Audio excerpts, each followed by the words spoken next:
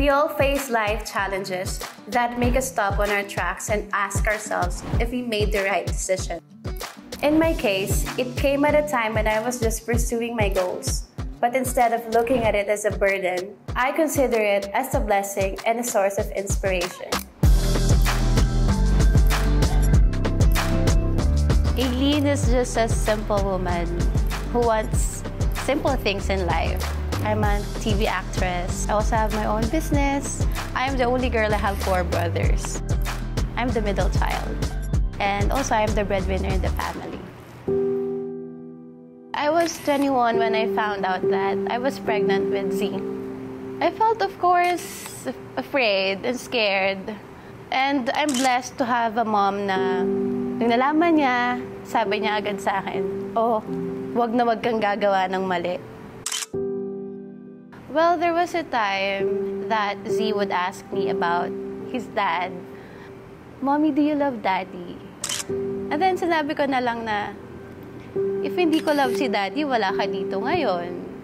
So sometimes, ganun lang din yung nag-cheer up sa mga bata, eh, lalo na kung separated yung parents, na pa-feel mo na hindi sila incomplete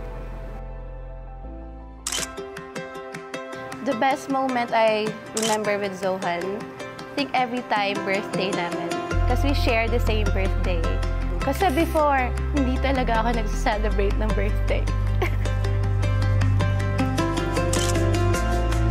I used to celebrate it with with the kids or mag charity events ako nung wala pa si Zohan.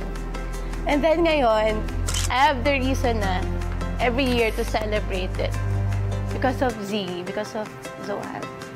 I'm not a perfect mom. I have my lapses, I have my imperfections, I'm flawed. I would just tell Zina everything that I've done and still doing. It's really and only for him. Meron siyang mommy who would go 101% for him. Kahit ano pa sabihin nila, pasok dito, labas dito. Kasi merong isang bata eh, pinupush ka everyday. Huwag kang sumuko, lumaban ka.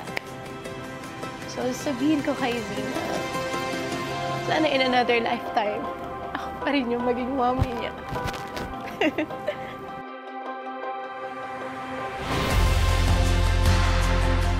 I chose Quezon City as my home and Z's also because it's very accessible sa school, sa lahat ng pwede namin pasyalan since parehas kaming adventurous ni Z. Mahilig kami mag-explore, kumain, lumabas.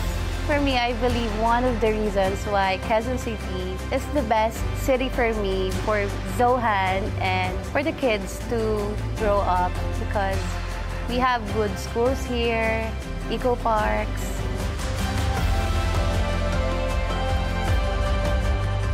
Looking back, I can confidently say that I made a wise decision to make Quezon City my home. It is here where I can continue to pursue my passion and interests, and at the same time, provide a bright future for my son, knowing that he is in an environment where he can shape his destiny and become his own star in the City of Stars. This is Aileen Gonzalez, a proud single mom and a proud Quezon City citizen.